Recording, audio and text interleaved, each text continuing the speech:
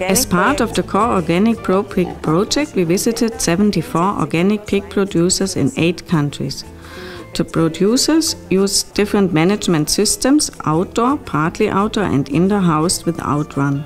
A ProPig handbook summarizes the knowledge gathered as a part of the project. This handbook contains chapters on key issues such as fertility, diarrhea, respiratory illnesses, injuries, and other problems. It combines the pig farmer's knowledge with scientific advisory and experiential knowledge. It outlines important preventive measures. The handbook differs from common teaching aids or information brochures in that it is comprised of checklists. in Form von Checklisten.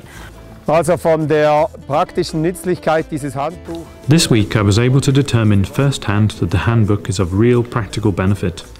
Last Sunday I noticed diarrhea in one of the piglet pens. I used my standard strategy of administering a mix of homeopathic remedies once every hour. But I also forgot to offer an electrolyte solution in conjunction with the homeopathic treatment. Normalerweise auch mache, ein Elektrolyt mit der Homöopathie zur Verfügung On Monday I received the handbook and looked at the checklist on diarrhea. When I open that chapter, I can choose from the following tabs housing, feeding, management, and treatment. If I go to treatment, I can see a list of first aid measures.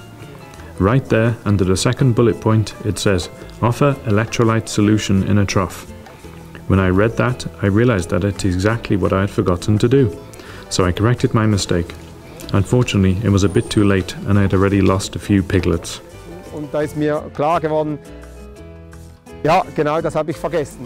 Clearly, even if you have a standard strategy, it is possible to forget some important element. We've been keeping organic pigs for 14 years now, and even though I consider myself quite experienced at this point, this handbook will help me. Using the checklists, I can tick off each point, safe in the knowledge that I have not forgotten anything and that I really have done everything possible. I think this handbook is unique. I think it is very well structured. Uh, the pages are dirt repellent, so I can take it into the barn, no problem. I think the book is practice orientated and does without big scientific studies, which for me as a farmer can be hard to interpret. Instead, it contains checklists that I can go through step by step and then things will work out.